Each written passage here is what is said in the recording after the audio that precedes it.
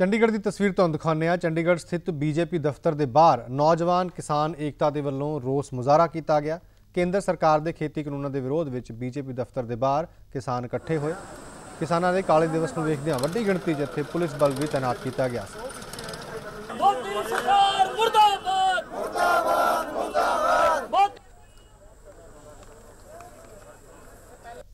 ਪੂਰੇ ਦੇਸ਼ ਦੇ ਵਿੱਚ ਅੱਜ ਕਾਲਾ ਦਿਵਸ ਮਨਾਇਆ ਜਾ ਰਿਹਾ ਹੈ। ਕਿਸਾਨਾਂ ਨੂੰ 6 ਮਹੀਨੇ ਹੋ ਗਏ ਬਾਰਡਰਾਂ ਦੇ ਉੱਪਰ ਆਪਣੀਆਂ ਮੰਗਾਂ ਨੂੰ ਲੈ ਕੇ ਬੈਠੇ ਨੇ ਤੇ ਪੂਰੇ ਦੇਸ਼ ਦੇ ਵਿੱਚ ਕਾਲਾ ਦਿਵਸ ਮਨਾਇਆ ਜਾ ਰਿਹਾ ਹੈਗਾ। ਚੰਡੀਗੜ੍ਹ ਦੇ ਵਿੱਚ ਬੀਜੇਪੀ ਦਫ਼ਤਰ ਦੇ ਬਾਹਰ ਯੂਥ ਕਿਸਾਨ ਏਕਤਾ ਵੱਲੋਂ ਜਿਹੜਾ ਹੈਗਾ ਪ੍ਰੋਟੈਸਟ ਕੀਤਾ ਜਾ ਰਿਹਾ ਹੈ। ਤਸਵੀਰਾਂ ਤੁਸੀਂ ਚੰਡੀਗੜ੍ਹ ਦੀਆਂ ਦੇਖ ਸਕਦੇ ਹੋ ਕਿ ਪੂਰੇ ਅ, ਜਿਹੜਾ ਬੀਜੇਪੀ ਦਾ ਦਫ਼ਤਰ ਹੈ ਉਹਨੂੰ ਪੂਰਾ ਵੈਰੀਕੇਟ ਜਿਹੜਾ ਕਰਕੇ ਪੁਲਿਸ ਵੱਲੋਂ ਵੈਰੀਕੇਡ ਕੀਤਾ ਗਿਆ ਹੈਗਾ। ਤੁਸੀਂ ਆ ਚੰਡੀਗੜ੍ਹ ਦੀਆਂ ਤਸਵੀਰਾਂ ਦੇਖ ਰਹੇ ਹੋ। ਚੰਡੀਗੜ੍ਹ ਦੇ ਵਿੱਚ ਯੂਥ ਕਿਸਾਨ ਏਕਤਾ ਵੱਲੋਂ ਜਿਹੜਾ ਹੈਗਾ ਪ੍ਰੋਟੈਸਟ ਕੀਤਾ ਜਾ ਰਿਹਾ ਤੇ ਮੋਦੀ ਸਰਕਾਰ ਦਾ ਪੁਤਲਾ ਇੱਥੇ ਜਿਹੜਾ ਅ, ਫੂਕਿਆ ਜਾ ਰਿਹਾ ਹੈਗਾ। ਤੇ ਅਸੀਂ ਗੱਲ ਕਰਨ ਦੀ ਕੋਸ਼ਿਸ਼ ਵੀ ਕਰਦੇ ਅ, ਅ, ਕਰਦੇ ਆ ਅੱਜ ਬੈਰੀਕੇਡ ਵੀ ਜਿਹੜਾ ਲਗਾਏ ਗਏ ਨੇ ਕੀ ਕਹੋਗੇ ਨਹੀਂ ਉਹ ਉਹਨਾਂ ਦੀ ਤਿਆਰੀ ਹੈ ਜੀ।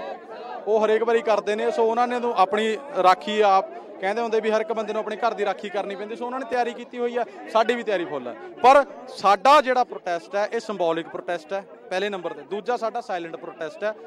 ਜੇ ਉਹਨਾਂ ਨੂੰ ਪਤਾ ਤਾਂ ਲੱਗ ਗਿਆ। ਜੇ ਪਤਾ ਹੀ ਨਾ ਲੱਗਦਾ ਫਿਰ ਐਡੀ ਸਿਕਿਉਰਿਟੀ ਨਾ ਆਉਂਦੀ ਅੱਜ। ਬਾਕੀ ਇਹ ਹੈ ਵੀ ਜਿਹੜੇ ਪੁਲਿਸ ਵਾਲੇ ਉਹ ਵੀ ਤਾਂ ਸਾਡੇ ਹੀ ਨੇ। ਮੇਰਾ ਚਾਚਾ ਵੀ ਪੁਲਿਸ 'ਚ ਆ ਮੇਰਾ ਤਾਇਆ ਵੀ ਪੁਲਿਸ 'ਚ ਆ।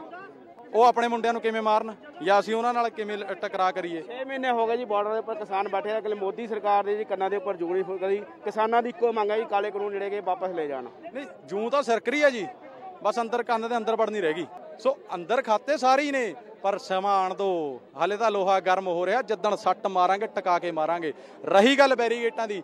ਜਿੱਦਣ ਅਸੀਂ ਬੀਜੇਪੀ ਭਵਨ ਜਾਣਾ ਹੋਇਆ ਨਾ, ਇੱਕ ਤੇ ਹੱਥ ਮਾਰ ਕੇ ਜਾਵਾਂਗੇ, ਠੋਕ ਕੇ ਜਾਵਾਂਗੇ, ਡਰਦੇ ਨਹੀਂ ਅਸੀਂ ਕਿਸੇ ਤੋਂ। ਪਰ ਅੱਜ ਦਾ ਜਿਹੜਾ ਸਾਡਾ ਪ੍ਰੋਟੈਸਟ ਹੈ ਸਾਇਲੈਂਟ ਪ੍ਰੋਟੈਸਟ ਹੈ ਸਿੰਬੋਲਿਕ ਪ੍ਰੋਟੈਸਟ ਹੈ। ਚੰਡੀਗੜ੍ਹ ਦੇ ਵਿੱਚ ਹਰ ਇੱਕ ਵਰਗ ਜਿਹੜਾ ਹੈਗਾ ਪ੍ਰੋਟੈਸਟ ਕਰ ਰਿਹਾ ਹੈਗਾ। ਚਾਹੇ ਬਜ਼ੁਰਗ ਹੋਣ ਜਾਂ ਚਾਹੇ ਨੌਜਵਾਨ ਹੋਣ, ਕੈਮਰਾਮੈਨ ਸ਼ੇਰ ਸਿੰਘ ਦੇ ਨਾਲ ਦਲਜੀਤ ਸਿੰਘ, ਪੀਟੀਸੀ ਨਿਊਜ਼, ਚੰਡੀਗੜ੍ਹ।